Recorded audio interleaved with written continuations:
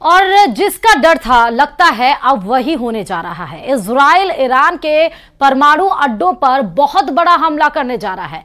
वहीं रूस और चीन ने ईरान की पीठ पर हाथ रख दिया है। अब ऐसे में खौफ ये पैदा हो गया है कि क्या इसराइल और ईरान के बीच परमाणु जंग होने जा रही है?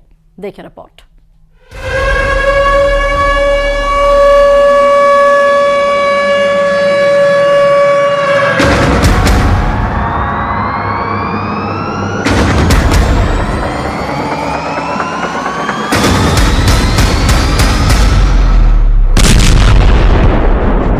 परमाणु युद्ध ईरान मरेगा या फिर मारेगा?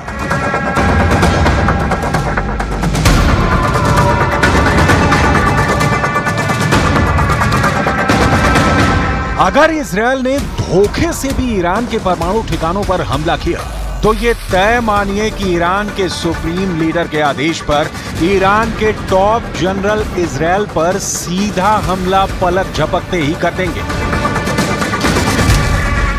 ईरान के बंकर में घातक मिसाइलों का ऐसा जखीरा मौजूद है, जो इसराइल को विनाश करने के लिए काफ़ी है। शायद यही वजह है कि अब इसराइल ईरान के परमाणु ठिकानों पर इसलिए हमला करने जा रहा है, ताकि ईरान के परमाणु हमलों से बचा जा सके।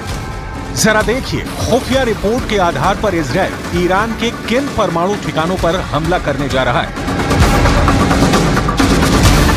इसराइल के अखबार द टाइम्स ऑफ़ इसराइल के मुताबिक, ईरान के फोर्डो और नटाजन परमाणु ठिकानों पर इसराइल हमला करने जा रहा है। खबरों में दावा किया गया है कि इसराइल अपने लड़ाकू विमान एफ़ थर्टी फाइव ए और एफ़ फिफ्टीन ई एक्स को हमले में इस्तेमाल करने जा रहा है।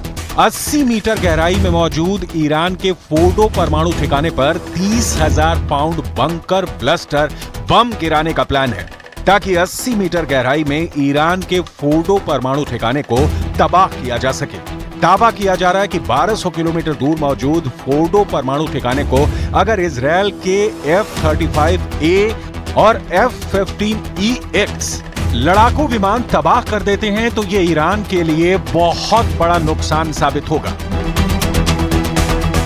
ऐसा नहीं है कि इसराइल के हमले का दावा खोखला है। क्योंकि इस वक्त इसराइल के फाइटर जेट ईरान के परमाणु ठिकानों पर ज़बरदस्त हमला करने की प्रैक्टिस कर रहे हैं। एफ़ थर्टी फाइव ए और एफ़ फिफ्टीन ई एक्स लड़ाकू एक ऐसा अभ्यास कर रहे हैं, जिसमें इसराइल से ईरान के बीच औसत 1500 किलोमीटर दूर पर बम गिराना है। हमले से जुड़ी इस खबर की पुष्टि एक और खबर भी कर रही है। इंटरनेशनल एटॉमिक एनर्जी एजेंसी यानी आईएईए ने ऐसा खुलासा किया है जो वाकई दिल दहला देने वाला है। आईएईए के चीफ राफेल ग्रॉसी ने मीडिया को बताया कि ईरान के परमाणु ठिकानों पर इसराइल के हमले का खतरा बढ़ चुका है, जिसकी वजह से ईरान ने अपने कई परमाणु ठिकानों को बंद कर दिया है। राफेल ग्रासी के मुताबिक आईएईए के अधिकारी ईरान के परमाणु ठिकानों का निरीक्षण नहीं कर सकते, जिनकी जाँच रोज होती थी। ईरान ने इसराइली खतरे को देखते हुए परमाणु साइटें बंद कर दी हैं।